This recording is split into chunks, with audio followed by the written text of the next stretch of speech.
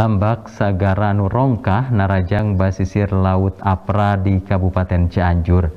Baru karena dua warung milik warga ruksak parna lantaran pernah di Nabi basisir anu abrasi tepi kali 5 meter. Di Pilewang, Lambak, Sagara Bekirongkah, warga di basisir Laut Apra, Kecamatan Sindang, Barang, Kabupaten Cianjur, kapaksa ngaruag warung milikna.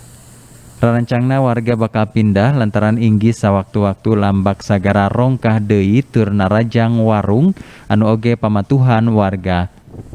Samemehna poe rebo kapetingnakeun lambak sagara anu jangkungna kira-kira 7 tepi ka 8 meter narajang basisir laut Apra tepi ka ngabalukarkeun abrasi sapanjang 500 meter bari jerona tepi ka 5 meter tina bibir basisir. Balukar eta fenomena alam teh dua warung milik warga ruksak parna.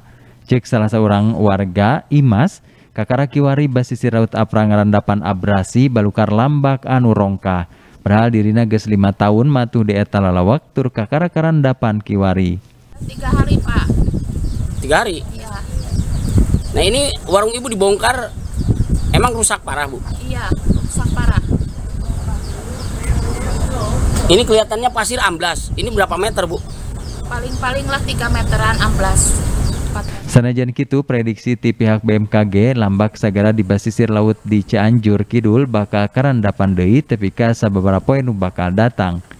Warga diperdi waspada lantaran ayah seetikna 40 imah warga sejena anu anggangna ukur 12 meter tina titik abrasi.